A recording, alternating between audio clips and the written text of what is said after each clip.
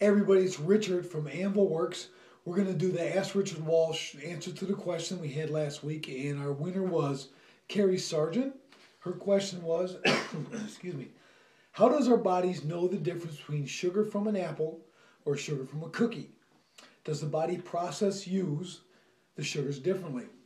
Well, Carrie, this is a fantastic question. Thanks so much for asking. I mean, really is a good question. Very, very, uh, very good. Okay, let's just start with yes, they, they do process them differently. Okay, an apple, for instance, is broken down into fructose and glucose.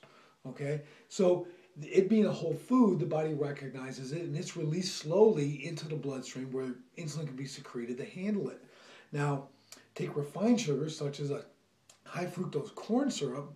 Okay, that that may be in your cookie, high fructose corn syrup, but that has unbound fructose and glucose. Okay, so the body doesn't even need to break that down. So it's absorbed directly into your liver, where it's then instantly converted into fat, not fuel, but fat. Okay, so though fructose in an apple, okay, is the primary sugar, okay, so what I'm saying is if heavy fruit consumption is not the same as heavy sugar consumption. Okay, your body likes natural fructose from fruit. It doesn't like refined sugars okay, unnatural sugars. All right.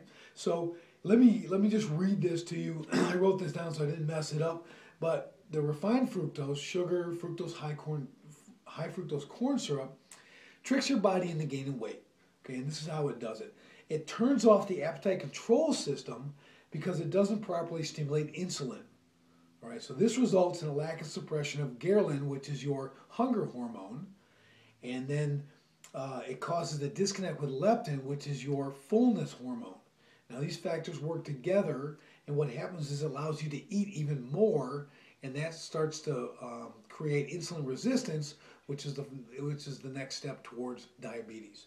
All right, so when you eat an apple, you know, 30 minutes later, you're not craving another apple.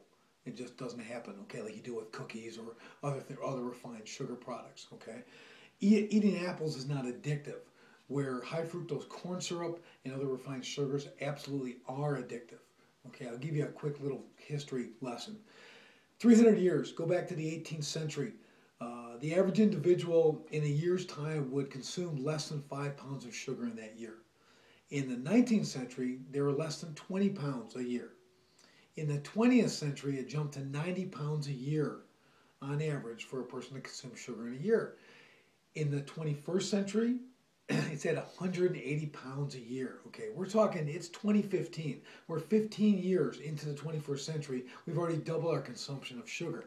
So if you take that track, you're looking at what, 2060, and everyone's 100% sugar.